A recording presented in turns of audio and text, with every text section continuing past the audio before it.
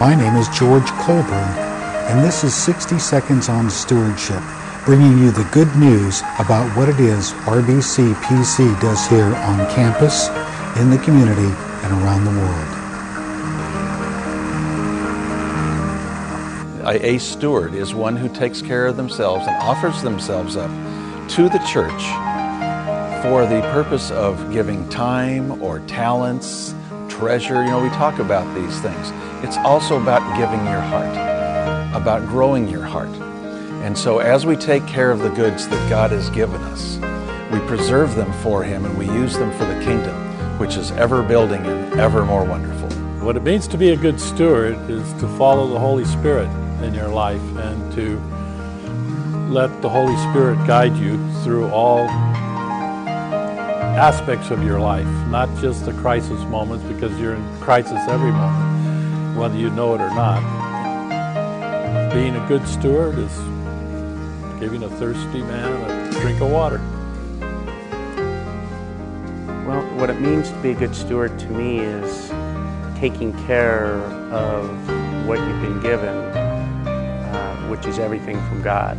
Uh, we need to have the perspective that any of the material possessions that we have are not ours, but we're just caretakers of those possessions.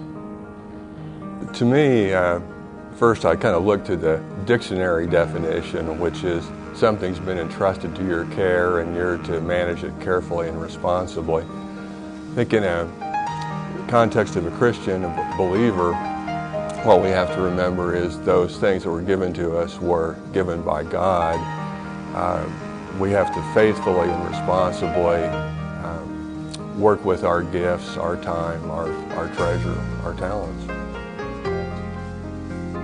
Stewardship for life to me means using everything that God has given you to reach others, to bring the Word to other people, to bring God into the workplace, to take God everywhere with you, because everything we have comes from God.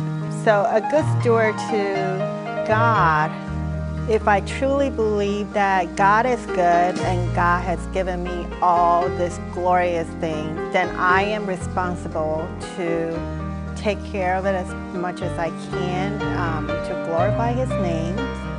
And um, and the way I look at it is, what can I do and how can I be to please Him?